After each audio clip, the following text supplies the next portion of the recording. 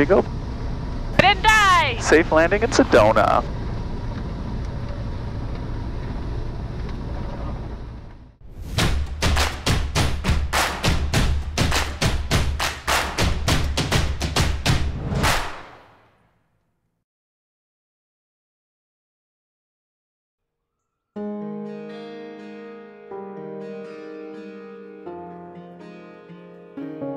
Tucked away in the Arizona mountains is one of the most beautiful red deserts in the world.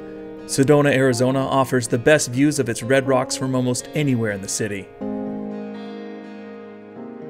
Couple that with some unique shopping and amazing hiking trails, and you've got one of the top must visit destinations in Arizona.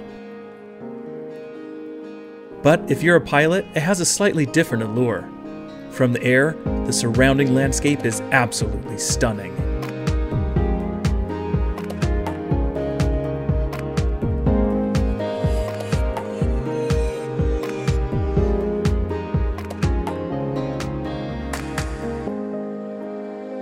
Aside from the landscape, Sedona does have something else to offer pilots. It has a one of a kind airport. From the outside, it doesn't look like anything special, and it seems like your typical everyday uncontrolled airport, until you realize it sits atop a 500 foot mesa. Flying into Sedona is both beautiful and technical, but the airport itself has a 360 degree view of the surrounding mountains.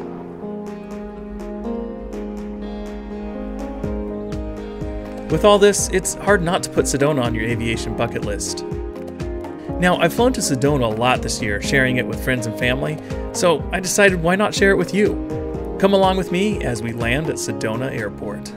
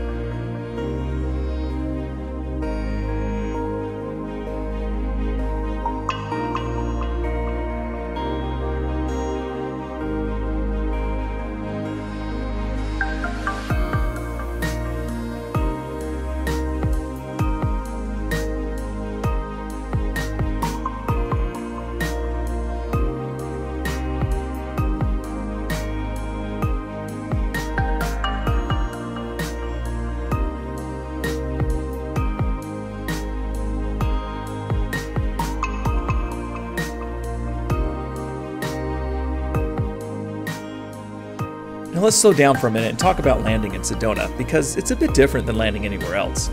Sedona's beauty can be a little distracting, but you still have to be on top of your game.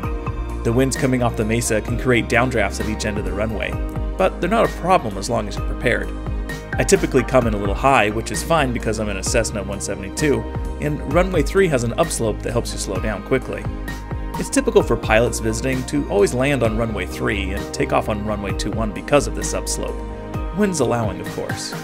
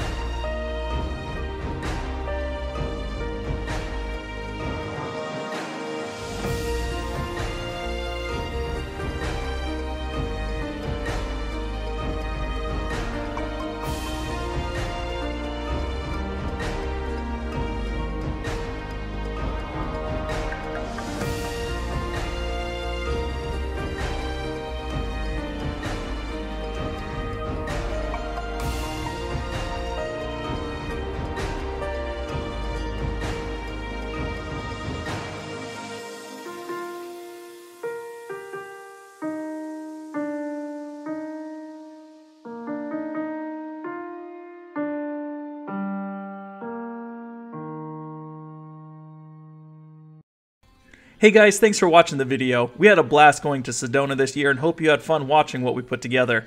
We haven't done a destination video in a while, so give it a like if you enjoyed it, and tell us where you'd like to see us go next in the comments.